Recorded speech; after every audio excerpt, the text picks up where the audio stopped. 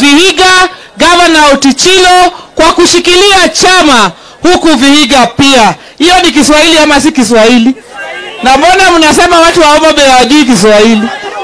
Haya, wacha niendelee kidogo, niseme hivi, sisi kama wana ODM tunaendelea kuima chama chetu kwa sababu tuko na lengo ya kuchukua ushukani ya uongozi ikifika mwaka wa 2020 sana.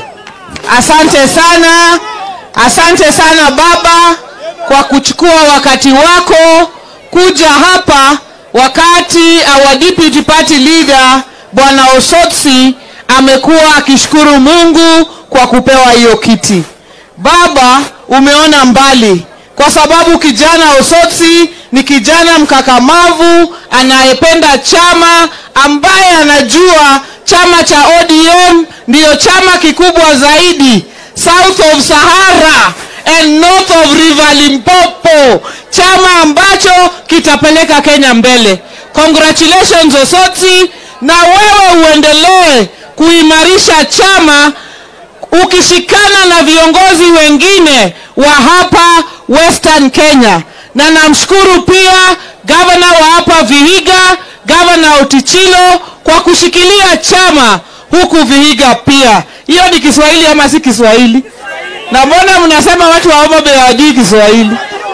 Haya, wacha niendelee kidogo, niseme hivi, sisi kama wana ODM tunaendelea kuima chama chetu kwa sababu tuko na lengo ya kuchukua ushukani ya uongozi ikifika mwaka wa 2027. The purpose of any political party is to capture power. Kwa hivyo sisi saa hii tunajiunda, na kama kuna kuongea mambo ya coalition na mengine tutafanya tukiendelea pale mbele, lakini tukiwa tumeimarisha chama chetu cha ODM. chama gani? Chama chetu cha ODM.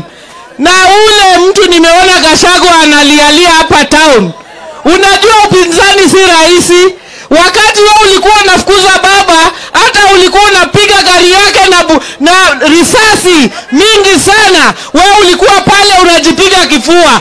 Sasa wewe umeingia pale, ukifukuzwa kidogo na viti namna hii, unaanza kulia, machozi inajaza bakuli mzima. Wacha kulia wewe, ulisema wewe ni maumau. Wacha kulialia hapo town.